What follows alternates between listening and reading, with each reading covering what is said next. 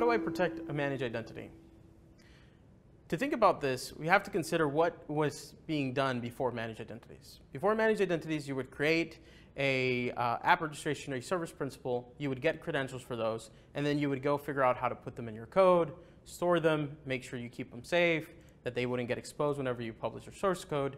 And so there was a lot of other considerations that you would have to take into account.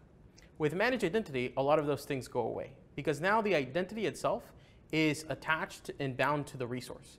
So you don't have access to the secrets, you only have access to that endpoint where you can request tokens. However, when we think about protecting the managed identity, now we have to consider is how do we protect access to the resource? Because the resource itself is the security boundary for the managed identity. Let's take, for example, a virtual machine. If I give a managed identity to a virtual machine, any code running inside that virtual machine is able to access that token endpoint. So you want to make sure you protect who can access and what code is running on your uh, resource that has a managed identity.